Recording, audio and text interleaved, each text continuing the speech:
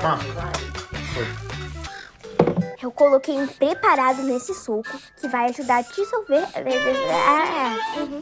Sensacional, ela falou em russo agora. Eu não sabia que o estava passando na Rússia.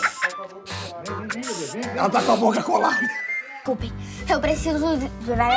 Estamos sem água. Sem água? É, eu abri a pri. Ai, meu Deus. Eu decorei as palavras. Luz, relâmpago, claro.